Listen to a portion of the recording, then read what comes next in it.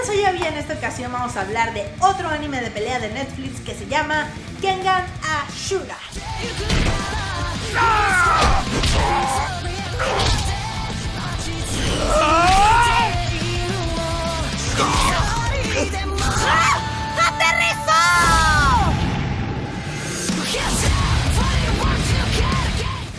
Este está inspirado en el manga de Yabako Sondrobi, que es ilustrado por Daramion, de editorial Shakugan, que consta con 27 volúmenes y un volumen extra. También hay otra a continuación, si no mal recuerdo, que se llama Kengan Omega, que está en desarrollo y apenas lleva un volumen publicado. Esta adaptación es del estudio Laxi Entertainment y cuenta con 12 capítulos apenas.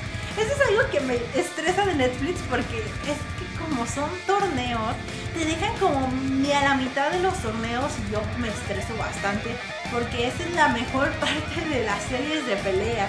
Si no me dejarán mentir, siempre esperamos a los torneos para ver que ya por fin demuestren estos luchadores de lo que están hechos o a lo que van para cumplir siempre sus sueños o expectativas. Es algo que a mí me gusta bastante de los animes de pelea.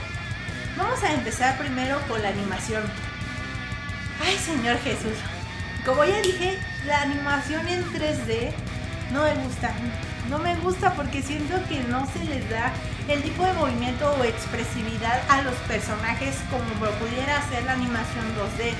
Ya lo dije con Baki, las peleas que más me gustaron son las que estaban en 2D que las que estaban en 3D o las que tienen 3D pero muy poquito porque por ejemplo en esta algo que notamos bastante y de hecho estaba con esta Yuki y decía no es que esos personajes no tienen expresión en su cara parecen muertos y sí es cierto o sea los ves y parecen como sin vida no tienen muchas expresiones. Eh, eso es malo para mí porque no te da a veces la emotividad o la emoción que necesitan explayar los personajes en ese momento, sí con la música, con eh, algún cambio de texturas o eso. Me gustó bastante el juego de sombras, eso sí me gustó, pero siento que el juego de sombras se hubiera resaltado más en una animación tradicional de 2D con algo de 3D, pero no, este, en general esa parte no me gustó. Las peleas sí son bastante geniales y me gustaron muchísimo. Aquí vamos a tener un personaje que creo que es el que más se lleva esta historia. En la otra, por ejemplo, teníamos a Baki como el protagonista que sacaba pues el luchador, ¿no? Pero aquí vamos a tener a Kazu Yamashita, este señor que va a ser involucrado en este mundo de las peleas clandestinas y él ni enterado estaba de que eso existía y muchísimas cosas más. También vamos a ver es cómo él se va a involucrar en esto, la adrenalina que le va a provocar, pero también todo el estrés que va a llevar acumulado este pobre hombre, teniendo que vivir en una deuda eterna. Y por otro lado vamos a tener a nuestro luchador que es Oma. Entonces, este luchador, la verdad es, el típico, ¿no? De que quiere ser el más fuerte, que enfrentarse a los demás, tal vez al principio ver como que quiere vengarse de algo que ha sucedido y muchísimas cosas.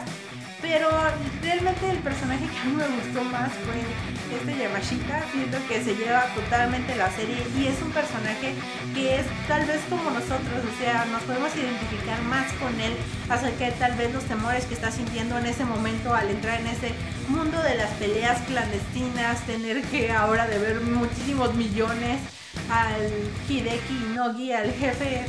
Entonces es bastante complejo todo esto. También me gustó el personaje de Kaede. Kaede me gusta bastante. Yo siento que si hace una buena pareja con Noma, quién sabe, quién sabe. A mí me gustó bastante esto, cómo se van relacionando. En general a mí me gustan bastante los animes de pelea. siempre les digo, me gusta ver mamados peleando, pero es que son entretenidas, me gustan bastante cómo se van descubriendo a sí mismos cada uno de los personajes a través de las peleas. Ya sé que muchas veces se ven bastante exageradas, pero esta misma exageración le da algo a este tipo de animes, no sé, me gustan bastante el desarrollo, les digo, de cómo tienen que pasar por muchísimo para realizar algo extraordinario y que tal vez en algunas series luzca como algo que no se pueda desarrollar pero tal vez realmente un atleta de alto rendimiento puede hacer cosas que la mayoría no. les digo, aquí lo exageran obviamente, pero es bastante interesante. De hecho, pues muchas personas cuando ven, por ejemplo, saliéndonos del anime, ¿no? Ven alguna serie como de película como Rambo o Rocky o cosas así, quieren como entrenar más su cuerpo y siento que tal vez tiene una influencia positiva en algunas personas para realizar algo con su cuerpo para decir, no, es que esto sí se puede hacer, ¿no? A mí me gustó la forma, y regresando la serie, porque lo hago bastante, regresando a lo que es la serie, me gustó también esto de las peleas clandestinas entre empresas y los empresarios y cómo cada empresario lleva a su luchador. Yo me imagino a Carlos Slim con su luchador aquí a un lado y también al de Microsoft, no, no, al de Google, el de Facebook, ¿no? Entonces, eso me gustó bastante y luego aparte sale un personaje que dije, este es McDonald's con Burger King o algo y me maté de risa, eso me gustó muchísimo. En general, Kengan Ashura se me hace una serie bastante entretenida que me hubiera encantado más con otro tipo de animación pero por lo menos a mí, no sé a ustedes, a muchas personas como que también no les gusta el 3D. Yo siento que cada video que hago de anime hablo del 3D, pero es que es algo que con el que tengo bastante conflicto. Bueno, en general a esta serie le daría un 7 de calificación porque me gustaron bastante los personajes, pero no me gustó mucho la animación.